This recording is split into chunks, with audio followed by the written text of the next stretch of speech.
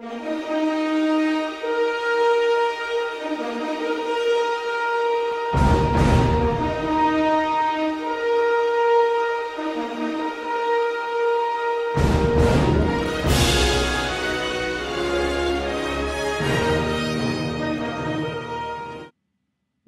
like a marble block, is given to all.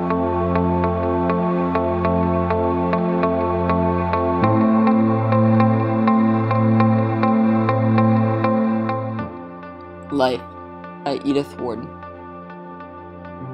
Life, like a marble block, is given to all.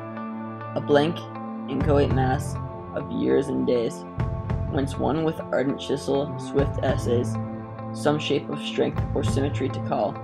One shatters it in bits to mend a wall. One in a craftier hand the chisel lays, and one to wake the mirth in Lesbia's gaze. Carves it apace in toys fantastical.